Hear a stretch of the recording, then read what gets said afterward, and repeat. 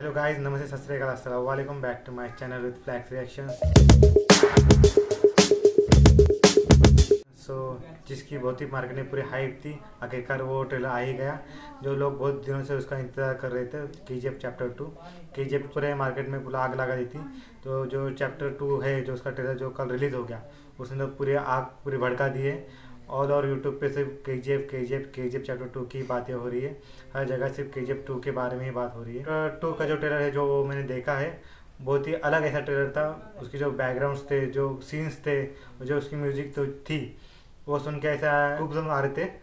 और बहुत ही अच्छा लग रहा था कि मतलब कुछ ऐसी फ़िल्म है जो उसको मतलब देखने का एक्साइटमेंट है पब्लिक जो है उसके पीछे एकदम क्रेजी है। में जो यश राज जो लुक है टू में और जो उनके जो विलन है, सबसे बड़ी बात तो विलन की हो रही है इधर बिकॉज़ विलन ही संजय दत्त है और उनका हाइप तो सबको पता ही है। उनका जो रोल दिखाया गया है, वही लोगों को बहुत अट्रैक्टिव करने वाला है। आई होप कि उनका जो एक्शन है, वो सबसे अलग और उनका जो विलन का जो रोल है, वो लोगों को बहुत पसंद आए।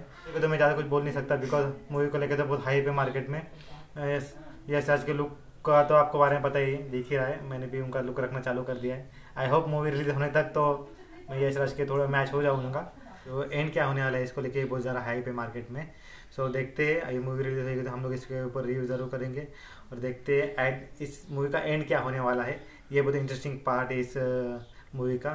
सो आई होप कि एकदम औसम ऐसा एंड हो। और ये सेकंड चैप्टर का जो है जो मेरे को तो ऐसा ही लग रहा है कि बहुत मार्केट में पूरा बबल हो जाने वाला है। ये बहुत सारे रिकॉर्ड भी तोड़ने वाली है मूवी आई होप कि लोगों को ये पसंद आए लोग देखने को जाएँगे ज़रूर बिकॉज़ दो तीन साल से ट्रेलर आ रहा है, ट्रेलर आ रहा है, कहीं इसका टीजर आ रहा है, कभी क्या आ रहा है।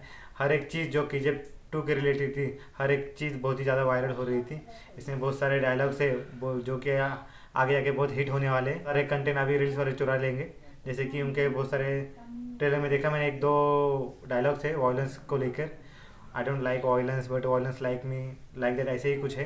तो वो जाके बहुत ही ज़्यादा क्रेज़ होने वाला है उस डायलॉग को लेके।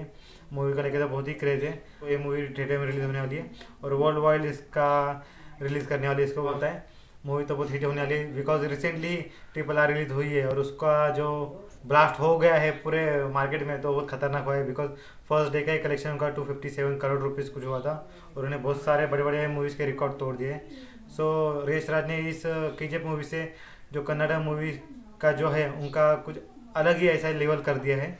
इंडियन सिनेमा में और वर्ल्ड वाइड भी एक अलग है ऐसे एक हाइप हो गया है। के जब टू रिलीज़ हो जाएगी, उसके बारे में हम लोग रिव्यू करेंगे। अगर आपने अभी तक ये ट्रेलर देखा नहीं तो प्लीज़ चाहिए और ट्रेलर देखिए।